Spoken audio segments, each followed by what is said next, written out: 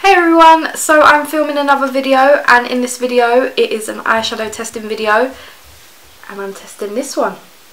It is the new I Heart Revolution Revo Pooches palette and it actually has different dogs on the back. So the first one is Biscuit and then this is Coco and then this one is Bruno and Blondie. And I have a feeling, could be based on the ones that I see in their office I swear it is. And then it just looks like this. It's so soft. And these are the shadows. And I'm going to do an eyeshadow look with it. So I will be back in a second to start off the eyeshadow look because my camera's flashing which means I have to change. So I've pulled you in a little bit closer so we can get up close and personal with this eyeshadow look. And I'm going to start with this shade Rollover. Wow, if you could just see how much fallout came out of that pan. It was a lot. I'm scared now on my eye. Oh wow. Okay, let's clear this up quick. I, this is one of the most pigmented palettes I've ever used from Revolution. Wow.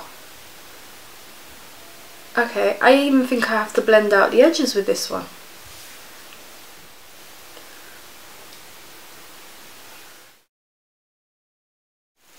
I'm going to use this shade Biscuit here just to blend out the edges because that was a very dark transition shade for me.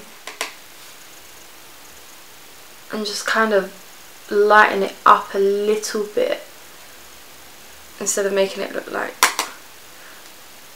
dog crap. I'm going to use a fluffier brush and just blend out all the edges because I feel like it is very very pigmented. I'm going to go in this shade here called Bark and just put that on the outer edge. Again, I'm going to be very careful because I've just dabbed it in once and that is the pick. Okay, they have upped their games with their form. Wow. Okay, let's do that on the other side.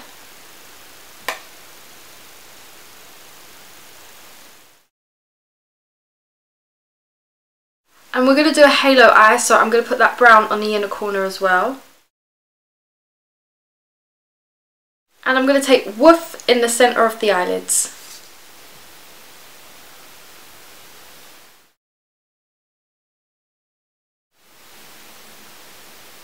I'm going to take this dark blue Bruno colour just to blend out the edges a bit more because I feel like it's so bright but the contrast is just off.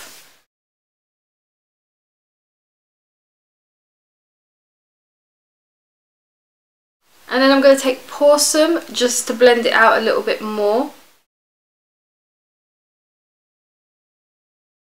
And for the lower lash line, I'm going to go in with Biscuit and then I'm going to go in with Rollover. And now I'm going to go off and do my mascara and come back with swatches. Okay, let's find an inner corner highlight and I'm hoping there is one because in a lot of palettes I can't find one anymore. Oh! Let's use the first shade here called Walkies. So this is the first row, as you can see very pigmented. And this is the next row. As you can see I've swatched really badly there. So yeah, let's get into the review part of this video.